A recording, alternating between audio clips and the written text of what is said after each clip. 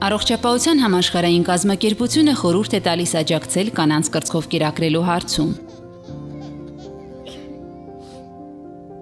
Եթե կասկածում եք, որ կորոնավիրուսով եք վարակվել կամ վարակն արդեն հաստատվել է, ապա հիգիենայի այս կանոնները կօգնեն պաշտպանել ձեր երեխային։ Նախքան երեխային կերակրելը, օճառով լվացեք ձեր ձեռքերը։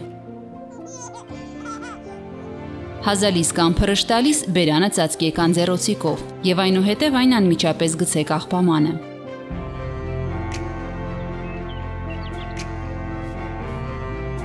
Մաքրեք եւ ախտահանեք բոլոր այն մակերեսները, որոնց դիպել եք։ Դիմակ կրեք։